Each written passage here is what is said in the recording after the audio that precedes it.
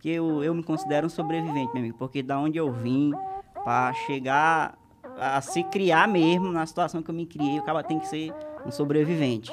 Aí eu acordava 3, 4 horas da manhã, podia estar tá fazendo chuva, sol, ia dizer sol. 3 horas da manhã, sol. Brabo. É, sol não tem. Né? e tinha que ir, meu amigo, pescar. Aqui é Cleitinho, e aqui vai mais um corte pra você, viu? Versão brasileira Cleitinho dos Cortes. A parada do sobrevivente já vem já de, de uns tempos aí, sabe? Porque eu, eu me considero um sobrevivente, meu amigo, porque da onde eu vim, para chegar a se criar mesmo na situação que eu me criei, o cara tem que ser um sobrevivente. Por eu quê? nasci, Me conta era aí. só cabeça e bucho. A mulher ia me visitar e. É, Sandra, eu sinto muito. Mas, minha filha, é bom que tu tá. Tu é uma menina nova, tem Dá pra saúde. tentar de novo. Dá pra tentar de novo. Sacanagem. É sério isso? Tipo, É sério, realmente Sério? relato. Era só cabeça e bucho. só cabeça e É bucho. Mas porque aí tu ficou- nasceu prematuro? Qual foi? Nasci certo mesmo, mas aí em casa. nasci, em- na- nasci em casa ali. Lá, a mãe acho que deu vontade, aí fecharam lá uma camarinha, tiraram os meninos de dentro de casa pra não ver arrumação, e eu nasci ali, daquele Então você jeito nasceu em mesmo. casa aqui. Foi, foi em casa. Interessante. Aí tu nasceu, tu disse que tu nasceu no Maranhão. Maranhão. Logo depois tu foi embora pro... Aí eu fui pro, pra um outro interior, no Maranhão. Aí lá eu me criei até os que 18 ou 20 anos. Aí eu fui, juntei um dinheirinho real e disse, é pai, agora já deu. Fica aí com as tuas roças, com as tuas coivaras, porque eu nunca gostei de roça. Quem diabo é que gosta de roça, moço? O cara, né? Meu amigo, o cara levantar... A minha rotina era assim, quando eu ajudava o papai lá, depois do, acho que dos 12, 15 anos para frente. Nós pescava e trabalhava de roça. Aí eu acordava 3, 4 horas da manhã, podia estar fazendo chuva, sol, ia dizer sol. 3 horas da manhã, sol. Brabo. É, sol não tem, né? E tinha que ir, meu amigo, pescar. Aí eu ia pescar mais ele. De manhã a gente chegava com os peixes, eu ia pra rua vender e ele ia pra roça de manhã. Entendi, Aí eu terminava vinha de vender- pesca, então. Fresco, Entendi. peixe frescaço, inclusive. né? Exato. Rapaz, Que peixe que pegava Tu, lá? tu manja então de pescar?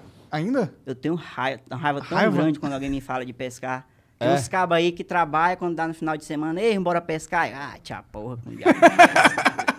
Quero conversa com pesca. Porra, eu, cara, acho que é por causa da, da obrigação de pescar. Quando eu era moleque, era uma situação completamente diferente, mas o meu pai me levava pra pescar porque ele precisava de companhia, sei lá, pra ir com ele. Aí eu queria mesmo era ficar em casa de bobeirão, jogando videogame ou alguma parada assim. E tomei raiva dessa porra de ter que ir pescar, tá ligado? Rapaz, eu nunca gostei, nunca, nunca, nunca. Porque Mas tu nunca gostou desde a primeira vez? desde a primeira vez, papai me levava pra roça e eu ia assim, ó. E ele, o que que esse menino tem, rapaz? Espera aí que eu te ajeito, moleque. Aí eu já segurava aqui, porque eu... né? Ele é bravo, teu pai? É, eu dizia pra ele assim, papai, o meu sonho é um dia eu poder levantar às 7 horas da manhã. Eu quero estudar, eu quero trabalhar pra um dia eu poder levantar às 7 horas da manhã. Porque eu só levantava de madrugada. E que horas tu ia dormir? Ia dormir cedão também. Eu dormia cedão, porque tinha que, tinha que jantar cedo, umas 5 horas da tarde por ali, para quando der 6 horas, né? fa- Fazer o bode para espantar a muriçoca. O que, que é isso, O fazer que, que é o bode? bode? Pega uma lata, uma lata de, de leite, daquela de alumínio, Aham. fura ela todinha, aí farra ali um início de fogo, tipo como se fosse uma churrasqueira, né? E bota casca de coco dentro, para fazer aquela fumaça.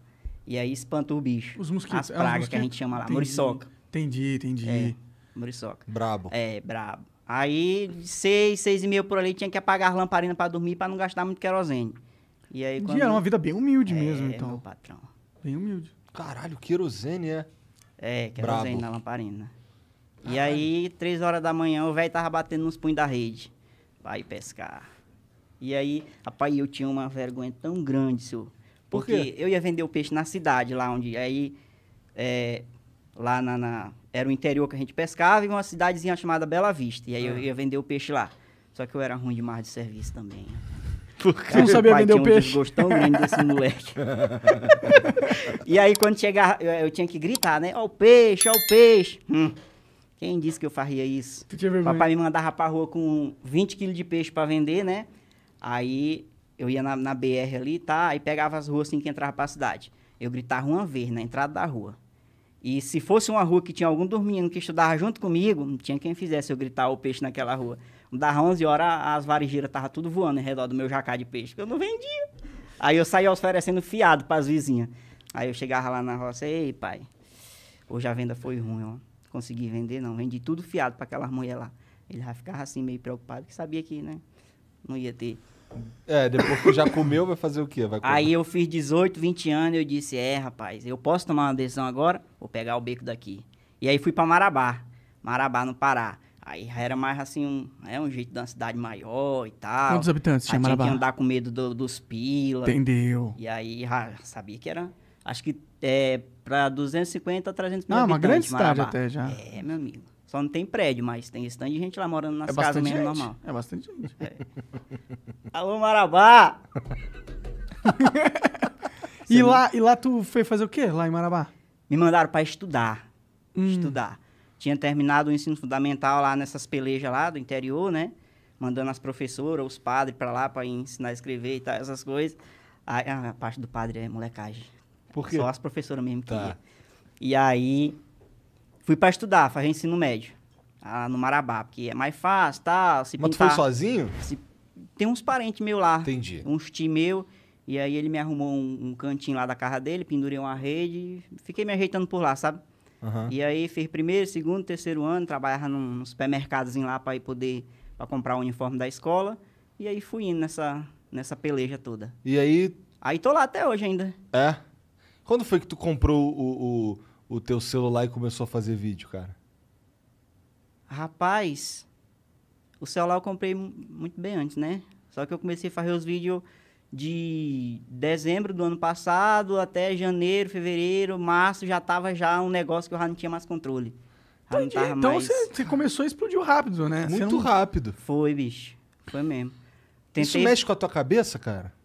É, mexe com tudo, cara. Tem que mexer, Mexe não tem como não porque- mexer, né, cara? Muda, a realidade deve ter mudado completamente, eu imagino. Eu acho que esse tipo, eu acho que esse negócio de fama, esse negócio de muita famosidade, eu acho que isso é, é tipo uma falha assim que tem no universo, porque isso não é compatível com, com a gente, ser humano, com a nossa mentalidade assim, não tem? Porque olha o que que acontece. Durante a vida da gente a gente vai a gente vai conhecendo pessoas, a gente vai trabalhar numa empresa, tem aquele pessoal que a gente conversa com eles. Aí, é, naturalmente, isso vai ficando pra lá. Não é que a gente não fala mais com aquelas pessoas, é que mudei de empresa, os contatos são outros, no amigo do ensino médio não falo mais com ele. Bicho, quando tu explode assim na internet, esse povo vem toda uma vez pra cima de ti. Porra, não fala mais comigo. Porra. Rolou isso, então? É, acontece. Aí tu, ué, tu não falava que eu era feio? Tu não me zoava quando eu vendia peixe? Cara, nessa. Vai te na- tomar no cu